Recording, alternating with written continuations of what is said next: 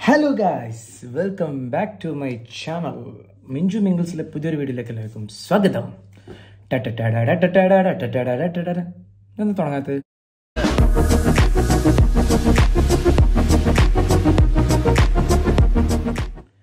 ആദ്യം തന്നെ എല്ലാവർക്കും സുഖമാണെന്ന് വിചാരിക്കണു പിന്നെ ഇവിടെയും സുഖമായിട്ടിരിക്കണു കുഴപ്പമൊന്നുമില്ല നോമ്പൊക്കെ അല്ലേ അടിപൊളിയാണ് പിന്നെ എന്താ പറയുക പ്രത്യേകിച്ച് ദുബായിലായതുകൊണ്ട് യു എയിലായതുകൊണ്ട് ഫുഡിനും ഉറക്കത്തിനൊന്നും ഒരു കുറവില്ല എല്ലാം ഉഷാറായിട്ട് പോണു. നല്ല നല്ല ഫുഡും കാര്യങ്ങളും നോമ്പുറക്കുമ്പോൾ തന്നെ പഠിച്ചാൻ സഹായിച്ച് അത്യാവശ്യം നല്ല ഐറ്റംസും. പിന്നെ ഈ പറഞ്ഞ പോലെ ഫ്രണ്ട്സ് കുറേ പാലസിലും അവിടെയും ഇവിടെയൊക്കെ ഹോൾഡുള്ളവരൊക്കെ ഉണ്ട്. അപ്പോൾ പാലസിലെ ഫുഡും സംഭവങ്ങളും എല്ലാം ഉണ്ടാവും. നോമ്പ് നോമ്പ് എന്തുകൊണ്ടും എനിക്ക് ഏറ്റവും ഇഷ്ടം എന്റെ സെക്കൻഡ് ഹോമായ അല്ലെങ്കിൽ തന്നെയാണ്. പിന്നെ എന്താ പറയാനുള്ളതെന്ന് വെച്ച് കഴിഞ്ഞാൽ നമ്മൾ മൂന്ന് വീഡിയോസ് ഞാൻ ഇട്ടിട്ടുണ്ടായിരുന്നു. മൂന്ന് വീഡിയോസിന് ഞാൻ വിചാരിക്കാത്ത റെസ്പോൺസാണ് നിങ്ങൾ തന്നത്. അതിന് ഞാൻ ആദ്യം തന്നെ താങ്ക് യു ഓക്കെ സത്യം പറഞ്ഞാൽ ഞാൻ ഇങ്ങനെ വിചാരിച്ചിട്ടില്ല കേട്ടോ അതായത് എല്ലാവർക്കും ഇപ്പോൾ ആരായാലും യൂട്യൂബ് ചാനൽ എന്നൊക്കെ പറയുമ്പോൾ വലിയൊരു സംഭവമാണ്. ഞാനൊരിക്കലും എന്താ പറയുക ആദ്യത്തെ വീഡിയോസിൽ പറഞ്ഞ പോലെ ഒരു പേയ്മെന്റിന് വേണ്ടി അല്ലെങ്കിൽ എന്തെങ്കിലും കാര്യം കിട്ടാൻ വേണ്ടി ഒന്നും വിചാരിച്ച് തുടങ്ങിയതല്ല. ഞാൻ വെറുതെ ഇരിക്കുകയാണ് അപ്പോൾ എന്റർടൈൻമെന്റ് പർപ്പസിന് വേണ്ടിയിട്ട് തുടങ്ങിയതാണ്. എന്തായാലും പക്ഷേ എന്റെ എന്റർടൈൻമെന്റ് നിങ്ങൾക്ക് എല്ലാവർക്കും ഇഷ്ടമായി എന്ന് ഞാൻ വിചാരിക്കുന്നു. കാരണം നിങ്ങളുടെ റെസ്പോൺസിൽ നിന്ന് എനിക്ക് അതാണ് മനസ്സിലായത്. അപ്പോൾ ഇന്നത്തെ വീഡിയോ എന്താണെന്ന് വെച്ച് കഴിഞ്ഞാൽ കുറേ പേര് കമൻസ് ചെയ്തിട്ടുണ്ടായിരുന്നു. കുറേ പേർക്ക് എന്നെ അറിയാം. പക്ഷെ എന്നാലും കുറച്ച് പേര് എന്റെ അടുത്ത് കമൻസ് ചെയ്തിട്ടുണ്ടായിരുന്നു. ഇക്ക ഒരു സെൽഫ് ഇൻട്രൊഡക്ഷൻ വീഡിയോ ചെയ്യണമെന്ന് പറഞ്ഞിട്ട്.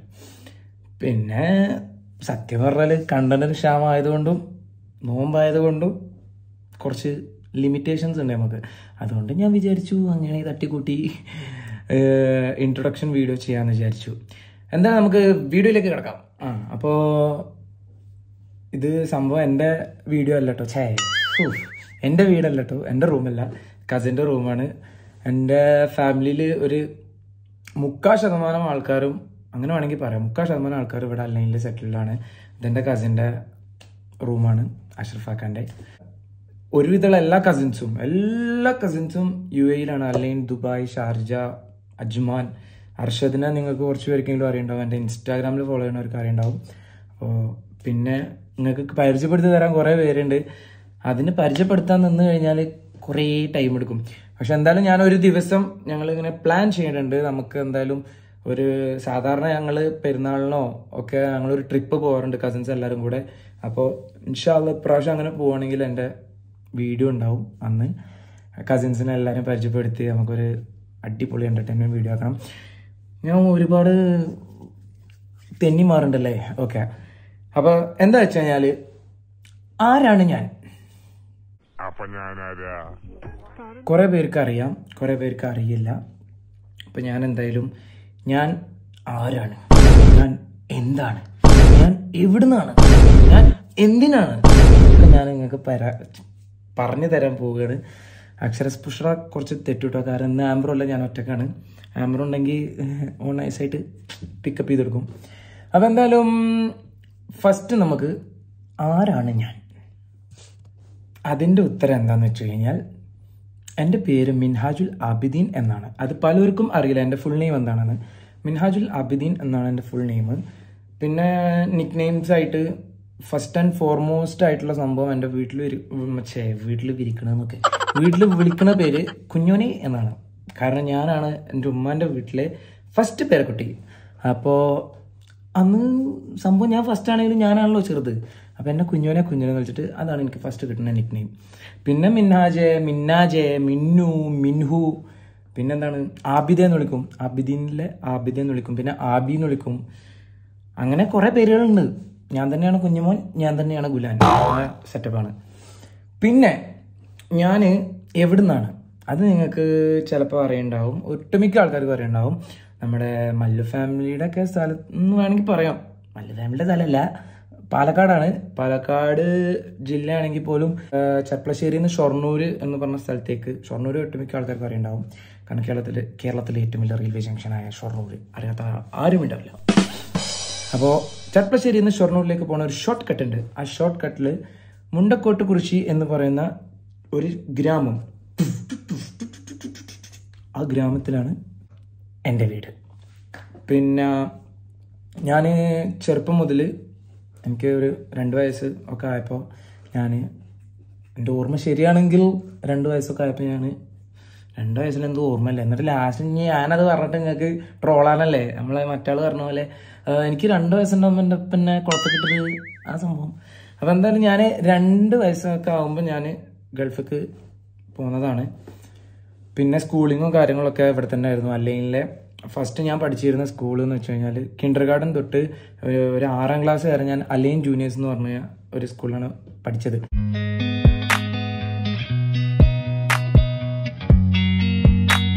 അലൈനിലെ തന്നെ one of the top schools എന്ന് വേണമെങ്കിൽ പറയാം. കാരണം അടിപൊളിയായിരുന്നു. പിന്നീട് ഞാൻ ഏഴാം ക്ലാസ്സിൽ കുറച്ച് വിസന്റെ ഇഷ്യൂ ഒക്കെ ആയിട്ട് നാട്ടിൽ പോയി. ഏഴാം ക്ലാസ്സിൽ ഞാൻ Pottachira M T I central school ഞങ്ങളുടെ നാട്ടിലുള്ളവർക്ക് അറിയുണ്ടാവും Pottachira. Pottachira M T S general സ്കൂളിലാണ് ഞാൻ പഠിച്ചത് ഏഴാം ക്ലാസ്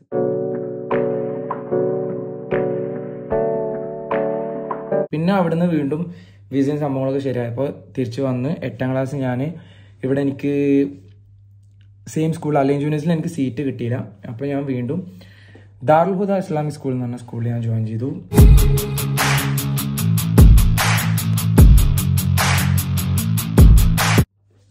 ആ സ്കൂളാണ് ആ സ്കൂൾ മാത്രമല്ല ഈ സ്കൂൾസാണ് എന്നെ ഞാനാക്കിയത്. പണ്ട് മുതലേ പൊട്ടിത്തെറിച്ചുകൊണ്ട് പാട്ടൊക്കെ പാടി എല്ലാവരും വെറുപ്പിച്ച് നടന്നിരുന്ന ഒരു ആളായിരുന്നു ഞാൻ. ചിലർക്ക് വെറുപ്പിക്കൽ സഹിക്കാൻ പറ്റും ചിലർക്ക് വെറുപ്പിക്കൽ സഹിക്കാൻ പറ്റാത്തതുകൊണ്ട് പോകും. പക്ഷെ എന്നാലും ഹാപ്പി ആയിരുന്നു മൊത്തത്തിൽ ഹാപ്പി ആയിരുന്നു. പിന്നെ നന്നായിട്ട് ഞാൻ പഠിച്ചിരുന്നില്ല. ഞാൻ ഉഴപ്പനായിരുന്നു. ചെറുപ്പത്തിലൊക്കെ നന്നായിട്ട് പഠിച്ചിരുന്നു. പിന്നെ കുറച്ച് കളിയും ചോരത്തിളപ്പും സംഭവങ്ങളൊക്കെ ആയപ്പോൾ പഠിത്തം ഒക്കെ താഴത്തേക്ക് പോകുന്നു. പിന്നെ പത്താം ക്ലാസ്സിൽ അത്യാവശ്യം മാർക്ക് ഉണ്ടായിരുന്നു. പിന്നെ പ്ലസ് വണ്ണിൽ ഒന്നുകൂടി താഴത്തേക്ക് പോകുന്നു. പ്ലസ് ടു പാസ്സായി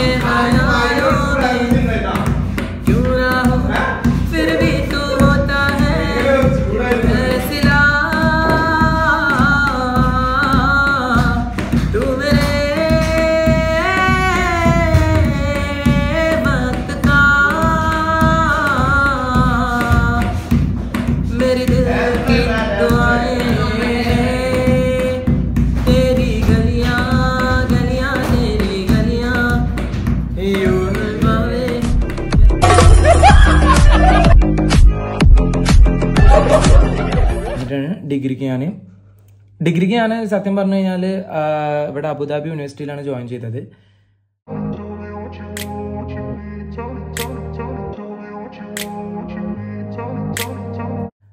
അലൈൻ ക്യാമ്പസിൽ എന്നിട്ട് പിന്നെ അവിടുന്ന് ചെറിയ ചെറിയ സംഭവങ്ങളൊക്കെ ആയിട്ട് എനിക്ക് അവിടുന്ന് പോകേണ്ടി വന്നു. ഞാൻ എന്നിട്ട് ഷാർജയിലെ വെസ്റ്റ്ഫോർഡ് യൂണിവേഴ്സിറ്റിയിൽ ജോയിൻ ചെയ്തു.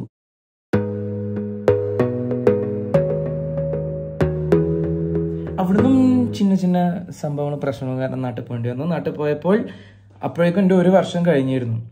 ഫസ്റ്റ് ഇയർ ഞാൻ കംപ്ലീറ്റ് ചെയ്തിരുന്നു. പക്ഷേ രണ്ട് കോളേജ് ഞാൻ ആദ്യം പഠിച്ച രണ്ട് കോളേജും യു കെ സർട്ടിഫൈഡ് കോളേജായിരുന്നു നാട്ടിൽ ചെന്നപ്പോൾ ഒരുവിധം എല്ലാ കോളേജസിലും സീറ്റ് ഫുള്ളായിരുന്നു അങ്ങനെ ഞാൻ തപ്പി തപ്പി ലാസ്റ്റ് ഞാൻ ചെന്നെത്തിയത് ആ സിംഹത്തിന്റെ മടിയിലായിരുന്നു. Ideal arts and science college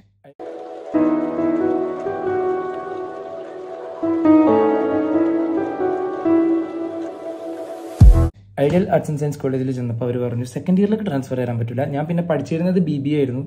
അപ്പോൾ ബി ബി എയിൽ സീറ്റും ഇല്ല എന്ന് പറഞ്ഞു. അപ്പോൾ ഞാൻ അങ്ങനെ ബി കോമിന് ചേർന്നു. ബി കോമിന് ഞാൻ ജോയിൻ ചെയ്ത്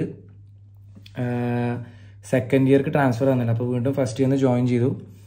അങ്ങനെ ഡിഗ്രി നാലഞ്ച് കൊല്ലം എടുത്തു. കഴിയുക ചപ്പിളി കാര്യങ്ങളൊക്കെ ആയിട്ട്.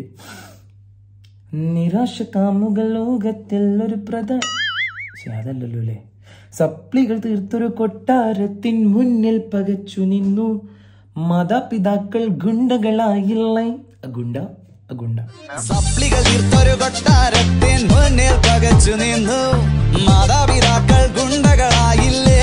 പിന്നെ പഠിച്ചും സഹായിച്ച് അതൊക്കെ ഞാൻ എഴുതിയെടുത്തു. ഒരു പേപ്പറിന്റെ കൂടെ റിസൾട്ട് വരാൻ വേണ്ടി വെയിറ്റ് ചെയ്യാണ്. ഇനി ഇൻഷാല്ല ഇത് കഴിഞ്ഞിട്ട് ഞാൻ ഹയർ സ്റ്റഡീസിന് ജോയിൻ ചെയ്യാനുള്ള പരിപാടിന്റെ അത് മിക്കവാറും പുറത്ത് എവിടെയെങ്കിലുമൊക്കെ ആയിരിക്കും. ഇതിന്റെ മുന്നത്തെ വീഡിയോസിൽ ഏകദേശം ക്ലൂ കിട്ടിയിട്ടുണ്ടാവുമല്ലോ. അതിനുള്ള തത്രപ്പാടിലാണ് എന്താവും എന്നൊന്നും എനിക്കറിയില്ല. ഞാൻ ഒരുപാട് ലാഗാക്കണമൊന്നുമില്ലല്ലോ കാരണം സെൽഫ് ഇൻട്രൊഡക്ഷൻ വീഡിയോ പിന്നെ ഇതിലും ഇതായിട്ട് എനിക്ക് ചെയ്യാൻ അറിയില്ല. കാരണം ഇത്രയും പേര് കമന്റ് കമൻസ് വന്നുകൊണ്ടാണ് ഞാൻ ചെയ്യണത്. പിന്നെ നിങ്ങൾക്ക് നമ്മളെ വീഡിയോസിലൊക്കെ കണ്ട് ശീലമായിട്ടുള്ള സംഭവങ്ങൾ തന്നെയാണ്. ബാക്കി എന്നെക്കുറിച്ച് പറയാനുള്ളതൊക്കെ എനിക്ക്. ഞാൻ ഭയങ്കരമായിട്ട് പാട്ട് പാടാൻ ഇഷ്ടപ്പെടുന്ന ഒരാളാണ് പാട്ട് പാടാനും കേൾക്കാനും ഇഷ്ടപ്പെടുന്ന ഒരാളാണ്. അതാണ് എന്റെ മെയിൻ ഹോബി പിന്നെ പ്രൊഫഷണൽ സിംഗർ ആണോ എന്ന് ചോദിച്ചു കഴിഞ്ഞാൽ അത്യാവശ്യം പ്രോഗ്രാംസ് ചെയ്യാറുണ്ട് സ്റ്റേജ് പ്രോഗ്രാംസും കാര്യങ്ങളൊക്കെ. യു എയിലായിരുന്നപ്പോഴും ചെയ്തിരുന്നു നാട്ടിലും ഞാൻ ചെയ്തിരുന്നു. അപ്പോൾ പാട്ട് പാടുന്നതുകൊണ്ട് തന്നെ കുറേ പേര് കമൻസ് ചെയ്യാറുണ്ട്. ഞാൻ ഇപ്പോൾ റീസെന്റ്ലി ഒരു പാട്ടിട്ടുണ്ടായിരുന്നു. എനിക്ക് ഭയങ്കര ഇഷ്ടപ്പെട്ട പാട്ടാണ്. അപ്പോൾ ഞാൻ ഇട്ടതാണ്. ഇതിന് മുമ്പ് ഇൻസ്റ്റയിൽ ഇട്ടിട്ടുണ്ടായിരുന്നു. പക്ഷേ യൂട്യൂബിൽ ചാനൽ തുടങ്ങിയപ്പോൾ യൂട്യൂബിലുള്ളവർ ചില ആൾക്കാർ ഇൻസ്റ്റാഗ്രാം ഇല്ലാത്തവരുണ്ടല്ലോ. അപ്പോൾ അവർ കണ്ടോട്ട് വിചാരിച്ച് ഇട്ടതാണ്. എന്തായാലും നിങ്ങൾ കുറേ ചോദിച്ചതല്ലേ? പാട്ട് പാടിത്തരുത് പാടിത്തരുമെന്ന് അപ്പോൾ ഞാനൊരു ചെറിയൊരു പാട്ടിന്റെ പോർഷൻ ഞാനിപ്പോൾ പാടുന്നുണ്ട് കേട്ടോ. അതൊന്ന് കേട്ട് നോക്ക്. എത്രത്തോളം നന്നാവും എനിക്കറിയില്ല. കാരണം ഒന്നാമത് സൗണ്ട് പോയിരിക്കുകയാണ് പിന്നെ ഇവിടെ ഇപ്പോഴത്തെ അവസ്ഥ വെച്ചിട്ട് ഇങ്ങനെയൊക്കെ തട്ടിക്കൂട്ടാൻ പറ്റുള്ളൂ.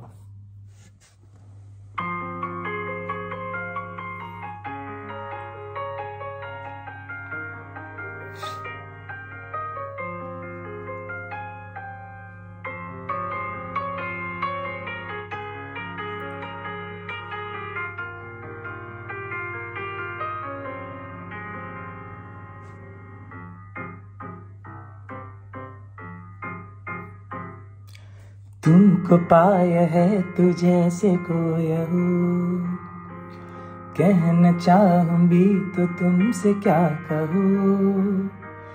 तुमको पाया है तो जैसे खोया हो कहना चाहूँगी तो तुमसे क्या कहो?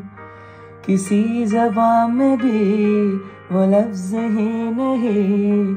कि जिनमें तुमको क्या मैं बता सकूँ? मैं अगर कहूँ तुम साहसी, कायनात में नहीं है कहीं। तारीफ़ ये भी तो सच है, कुछ भी नहीं।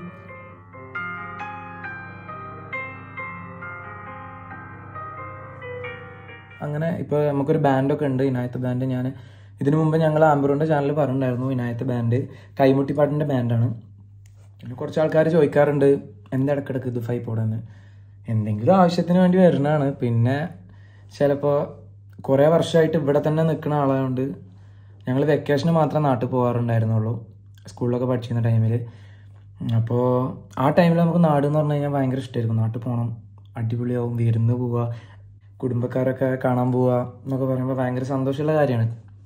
പിന്നെ ഞാൻ കോളേജൊക്കെ തുടങ്ങിയതിന് ശേഷം നമുക്കിങ്ങനെ കുറച്ച് കുറച്ച് യു എ മിസ് ചെയ്യാൻ തുടങ്ങി. അപ്പോൾ പിന്നെ ഇടയ്ക്ക് ഇങ്ങോട്ട് വരും ഇടയ്ക്ക് ഇങ്ങോട്ട് പോകും. പിന്നെ എനിക്ക് വിസ ഉണ്ടായിരുന്നു. ഉപ്പാന്റെ സൂപ്പർ മാർക്കറ്റ് ഉപ്പാക്ക് ഇവിടെ ബിസിനസ്സാണ് സൂപ്പർ മാർക്കറ്റാണ് സൂപ്പർ മാർക്കറ്റ് ഉണ്ട്. Fruits and vegetables fish shop കാര്യങ്ങളൊക്കെ ഉണ്ട്. അപ്പോൾ അത് ഫാമിലി ബിസിനസ്സാണ് ഉപ്പാന്റെ മാത്രമല്ല ഉപ്പാന്റെ ഏട്ടന്മാരും പിന്നെ ഈ പറഞ്ഞ കസിൻസും എല്ലാവരും കൂടെ നിങ്ങൾ മൊത്തത്തിൽ ഇവിടെ സെറ്റിൽഡ് ആണെന്ന് പറയാം. പിന്നെ ഇനിയിപ്പോൾ എന്താ പറയുക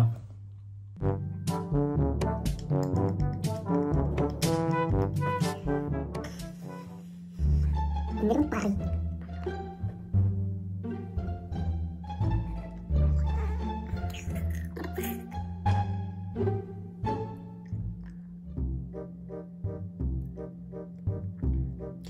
മീൻ വാങ്ങി വേലക്കാരി മീൻ വേലക്കാരി മീൻ വേലക്കാരി മീൻ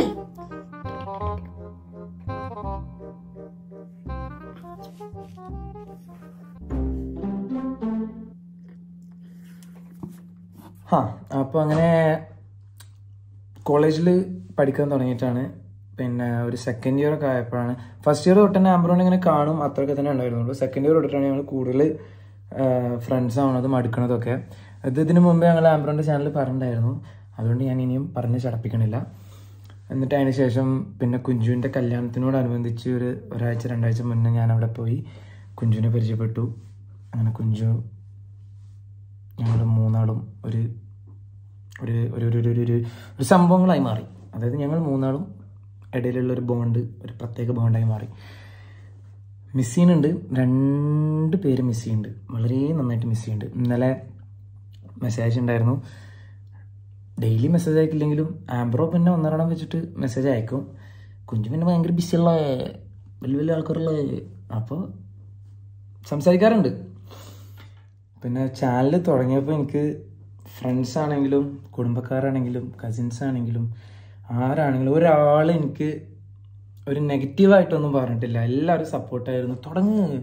ഈയൊക്കെ വലിയ നിലയിലെത്തിയിട്ട് വേണം ഞങ്ങൾക്കും എന്റെ പേര് വന്നിട്ട് സെറ്റ് ആവാനെന്നൊക്കെ പറഞ്ഞിട്ട് എല്ലാവരും ഭയങ്കര സപ്പോർട്ട് തന്നെയായിരുന്നു. അപ്പോൾ അതിനൊക്കെ ഒരുപാട് thank you thank you thank you thank you so much അവരോട് മാത്രമല്ല എന്റെ വീഡിയോ ഞാൻ നേരത്തെ പറഞ്ഞ പോലെ ഇട്ടപ്പോൾ തന്നെ ഇങ്ങനെ റെസ്പോൺസ് വരുന്ന ഞാൻ വിചാരിച്ചില്ല. അപ്പോൾ ആ വീഡിയോസ് എല്ലാം ഏറ്റെടുത്ത നിങ്ങൾക്കും വളരെയധികം നന്ദി. ഇപ്പം എന്താ സംഭവം എന്ന് വെച്ച് കഴിഞ്ഞാൽ ഞാൻ എന്റെ റൂമിലിരിക്കുകയായിരുന്നു അപ്പോൾ അവിടെ മൊത്തത്തിൽ ഒന്ന് അലങ്കോലായിട്ട് കിടക്കുന്നതുകൊണ്ട് ഞാൻ കസിനെ വിളിച്ചിട്ട് ഫ്രീ ആണെങ്കിൽ എന്നെ വന്ന് പിക്ക് ചെയ്യാൻ പറഞ്ഞു. അങ്ങനെ വന്ന് പിക്ക് ചെയ്തു. ഞാനിതാ കസിന്റെ റൂമിലാണുള്ളത് അവർ ഫാമിലി എല്ലാവരും ഇവിടെ ഉണ്ട്. അപ്പോൾ അവരെ നൈസായിട്ട് എന്തോ ഷോപ്പിങ്ങിനോ അങ്ങനെ എന്തൊക്കെ പറഞ്ഞയച്ചിട്ട് ഞങ്ങൾ രണ്ടാളും ഇവിടെ ഉണ്ട് ഇപ്പോൾ റൂമിൽ അവർക്കും ഇവിടെ ബിസിനസ്സാണ് അപ്പോൾ ഞാൻ പറഞ്ഞു എന്റെ അടുത്ത് പറഞ്ഞു "എന്നാ അങ്ങനെയാണെന്നുണ്ടെങ്കിൽ ഞാൻ പറഞ്ഞിരുന്നു എനിക്ക് വീഡിയോ ചെയ്യണം. അപ്പോൾ നല്ലൊരു ആംബിയൻസ് വേണം. അതുകൊണ്ടാണെന്ന് പറഞ്ഞു. അപ്പോൾ എന്നോട് പറഞ്ഞാൽ നമ്മളെ റൂമിൽ പോരെ. ഇവിടെ അവരെല്ലാവരും ഷോപ്പിങ്ങിന് പോകാൻ നിൽക്കുകയാണ് അപ്പോൾ നമുക്കിവിടെ ആൾക്ക് വീഡിയോ എടുത്ത് സെറ്റാവാം എന്ന് പറഞ്ഞിട്ട് ഞാനിങ്ങോട്ട് വന്നതാണ്. അപ്പോൾ ഇവിടെ വന്നപ്പോൾ അവരൊക്കെ കണ്ടു. അതിനുശേഷം അവർ ഷോപ്പിങ്ങിനും കാര്യങ്ങൾക്കൊക്കെ ആയിട്ട് പോയി. ഒരു മിനിറ്റ് റൂമിന്റെ ശരിക്കും മുതലാളി ഇവിടെ ഉണ്ടെന്ന് തോന്നുന്നു കേട്ടോ ഒരു മിനിറ്റ് യെസ് കമ്മിങ് ഗൈസ് റൂമിന്റെ ശരിക്കും മുതലാളി ഇവിടെ എത്തിയിട്ടുണ്ട്. ശരിക്കും മുതലാളി എന്റെ സ്വന്തം കസിനാണ്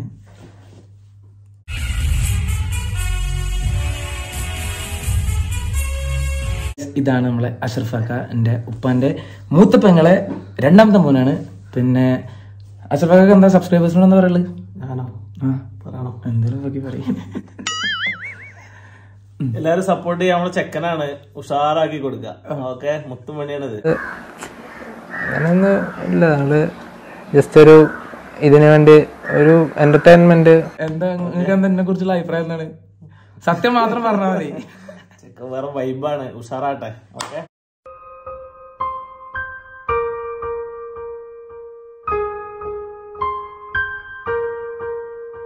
ഉഷാറാട്ടെ ഓക്കെ എല്ലാരും ഉഷാറായി കൊടുക്കും.